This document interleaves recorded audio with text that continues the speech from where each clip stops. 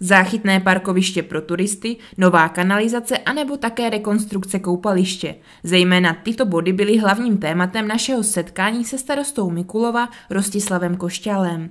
V následujících minutách vás seznámíme s nejzásadnějšími projekty letošního rozpočtu města. Teď se nacházíme na stavěništi, na stavěništi rekonstruovaného koupaliště venkovního a budujeme tady prakticky eh, nově kompletní technologii, eh, to znamená bazény, tobogány a technologii pro udržení kvality vody. Prakticky bude jiné úplně všechno, protože eh, ty modré bazény, jak tady byly z plastu, tak budou nahrazeny nerezovými bazény, potom tobogán se zvětšil a určitě dominantou bude skluzavka velká, eh, takže to, to jsou prostě na první pohled viditelné změny. A vůbec eh, tady byly dva menší bazény a ty se spojí do jednoho velkého, jak jsem říkal, necelých 50 metrů s atrakcemi, takže to bude prostě úplně jiné koupaliště, co se týče té technologie koupání. Práce na letošní největší investici města jdou zatím podle plánu.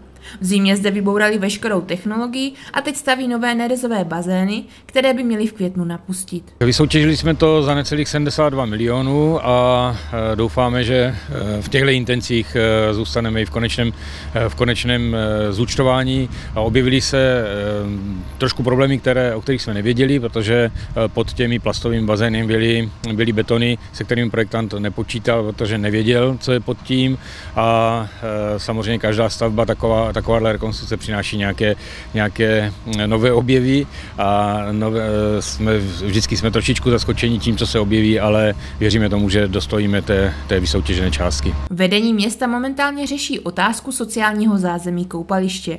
Vzhledem k tomu, že samotná investice je poměrně zásadní, zabývají se dalšími možnostmi, jak toto vyřešit. Zatím to sociální zázemí necháváme v tom stavu, v jakém je, eh, samozřejmě s nějakým, s nějakým upgradem, nějakou drobnou opravou, nicméně hledáme partnera investičního, protože eh, to sociální zázemí je také už dneska eh, jakoby zastaralé a dá se mnohem lépe využít po případné zásadní rekonstrukci, takže by se v podstatě, pokud bychom našli investičního partnera, tak by se z toho dal vytvořit eh, prostor jednak pro zázemí koupaliště, ale také pro nějakou komerci, apartmánové bydlení nebo eh, jiné možno, jsou tu jiné možnosti. Vedení města koupilo zhruba za 25 milionů korun bývalý areál firmy Bors, aby ho změnilo v záchytné parkoviště. Připravujeme systém, který eh, bude eh, prakticky všechny návštěvníky města Mikulova navádět sem do záchytného parkoviště. Je tu zhruba 200 míst a my zvažujeme, že ta kapacita plus minus 300 míst by měla stačit. My k tomu máme ještě jedno rozpracované projekčně druhé parkoviště s třemi stovkami, ale zatím, zatím, jak je vidět, návštěvníci tady teďka žádní nejsou a e, myslíme si, že na, ty, na ten jako první krok těch 200 míst bude dostačujících. Takže toto je místo, které jsme zakoupili. Zakoupili jsme to proto, aby, aby jsme mohli odklonit ty, kteří e, parkují přímo ve městě a svým způsobem už obtěžují místní obyvatele, protože jim obsazují parkovací místa místa u jejich domů a abychom je mohli sem odklonit. K tomu samozřejmě připravujeme navigační systém inteligentní, kde by na těch příjezdech z Mikulova měly být elektronické tabule, které budou informovat ty návštěvníky o tom, jak to tady na tom parkovišti vypadá, že tady takové parkoviště je a kam mají odbočit, kde, mají, kde můžou zaparkovat. Zvýhodněná cena parkování a navazující městská hromadná doprava by měly návštěvníky města nasměrovat právě sem. Já už jsem projednával na poslední zastupitelstvu zastupiteli, nebyl to hlavní bod, ale eh, v podstatě ideu o tom, že se pokusíme sehnat autobus, který by nám zabezpečil místní dopravu ve městě. Máme představu o tom, že to bude v každém případě ekologický autobus, takže buď elektrika nebo CNG. Dalším projektem je vybudování kanalizace v místní části Mušlov. Jsme v místě prakticky, kde se nám bude potkávat eh, nově vyprojektovaná kanalizace. My jsme do loňského roka měli vyprojektovanou tlakovou kanalizaci a odkanalizování této ulice ulice, Valtická.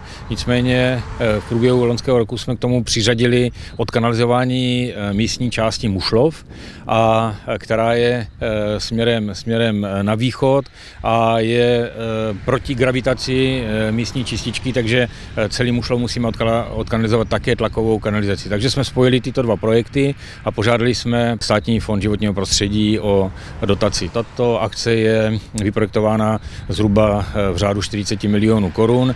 Je to poměrně složitá a komplikovaná záležitost, ale také je to poslední místo v Mikulově, nebo jediné místo v Mikulově, kde bohužel nemůžeme gravitačně odpady odvádět do čističky a proto jsme to museli takhle poměrně komplikovaně řešit. Ve stejné lokaci se nachází také Meruňkový sad, který nicméně už nějakou dobu Meruňky neprodukuje. Co s ním má vedení města v plánu? Odpočinkové místo pro Mikulovské se záchranou těch starých eh, stromů a ještě jedna taková perlička, protože e, jsou tam místa, která jsou volná, tak tam e, chceme vytvořit prostor, kde si svadebčané budou moct zasadit svůj svadební strom. Dlouhodobým problémem města byla spojnice mezi ulicemi Bezručova a Žižkova. Už tam několik let projektujeme a vyjednáváme stavebním, ve stavebním řízení, vyjednáváme opravu této komunikace. No a nyní jsme ve fázi, kdy už máme výsledky vysoutěženo a prakticky letos, letos rekonstruujeme tuhle, tuhle cestu. Nakonec, když se podíváte na tu cestu, vidíte, jakým stavu, on je to napůl polní cesta, je to v takovém stavu, že když nám zapršelo, tak nám hornina z toho a ten kryt stékal na, na tuhle bezručovou ulici, takže je to v podstatě nutná investice a pomůže to samozřejmě všem, všem těm občanům, které na té, na té ulici, na té spojnici Bezručova Žižkova žijí. Náklad na tohle po, po soutěži soutěží je necelých 7 milionů korun. Eh, projektováno to bylo zhruba na 8 milionů korun, ale soutěží jsme docílili zhruba 20% eh, úspory, takže toto je jedna ze zdařilých soutěží, která se nám povedla.